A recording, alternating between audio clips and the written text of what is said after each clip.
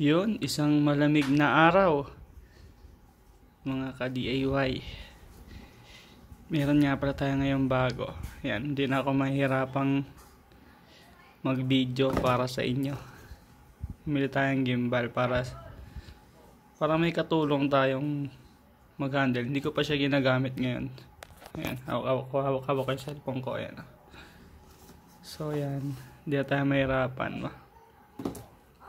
Ito, laman, oh. Isang gimbal. Baka gusto nyo, gagawa rin ako ng ano to. Mga sample, sample.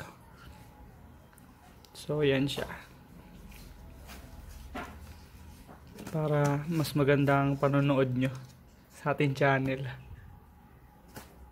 Pasensya na kung ano, matagal akong hindi napag-upload kasi nga pinaghahandaan ko pa yung isang video natin, hindi ko siya ma-shoot ng ako lang eh. Kaya inuna ko muna to. Salamat nga pala sa seller nito. May lib may li binigyan tayo libreng ito. Parang mat lang siya eh. Set upan.